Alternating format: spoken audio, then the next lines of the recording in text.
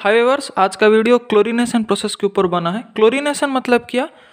हमारे पास एल्केन है। एल्केन का अगर हम क्लोरीनेशन करते हैं मतलब क्लोरीन ऐड करते हैं, ठीक है? क्लोरीन मॉलिक्यूल को ऐड करते हैं। In presence of h nu h nu मतलब सनलाइट एच मतलब प्लांस कॉन्स्टेंट न्यू मतलब फ्रीक्वेंसी तो क्या हमको आता?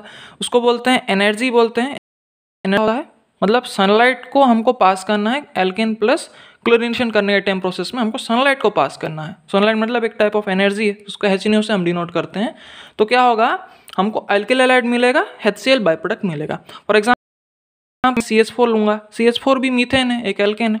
उसको अगर मैं क्लोरिनेशन करता हूँ मतलब क्लोरिन ऐड करता हूँ in presence of sunlight that is h nu तो क्या होगा, ये सी एच फोर मतलब क्या C H three single bond H लिख सकते हैं।